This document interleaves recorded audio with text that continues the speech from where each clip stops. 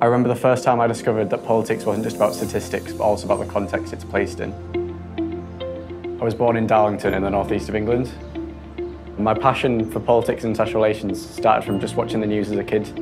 I was really interested in what was going on in a wider context around me. Growing up in a small town, you don't really know too much about the world around you unless you see it for yourself.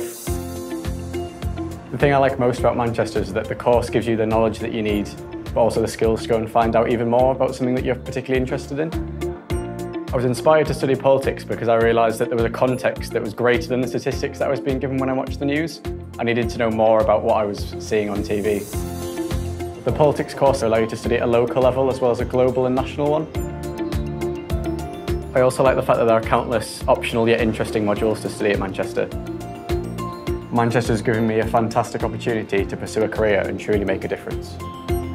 My name is Josh Wakeford and I'm studying Politics and International Relations at the University of Manchester.